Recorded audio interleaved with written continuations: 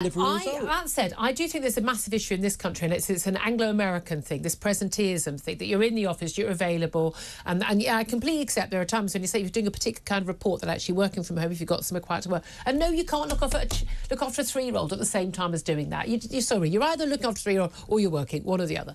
Um, um, but but I, I, I do think that there is this thing where you know this very Anglo thing that you, you know if you're there, if you're at the office and you're getting work done. I've worked in a lot of offices, certainly newspaper offices, where people are there all day. Well, apart from when they're in the pub and they work long hours, so they can go, oh, I work long hours, but they're not actually getting anything done. And I certainly found, certainly once I had a little one, I had to go pick her up from nursery. You know, I made sure I every working mum I know make sure they finish their work on time because I'm working dads now too. They, they've got to get back, you know, to a child, and you actually you know you, you stick to those hours. Also, you know, I worked in Germany for about for a few months.